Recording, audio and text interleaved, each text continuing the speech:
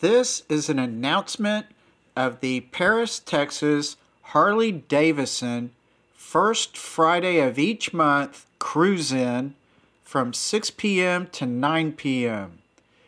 The next cruise in is this Friday, August the 7th, 6 p.m. to 9 p.m. Hope to see you there.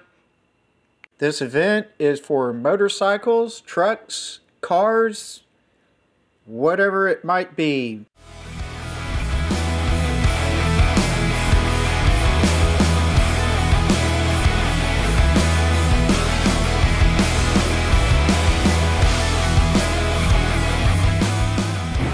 Alright, so if you head out here Friday and you're driving your car, be sure and park over here in this blacktop area and they're supposed to line up the cars facing the road and maybe going back a little ways.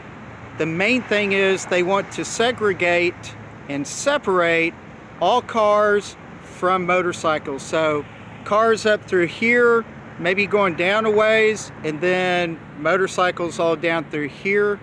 So just be expecting something of that variety.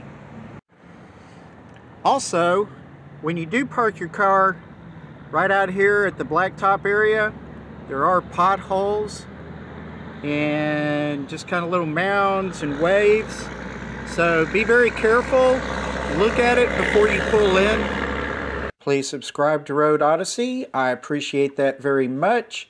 And thought I'd treat you with a few pictures and videos of the inside of the shop.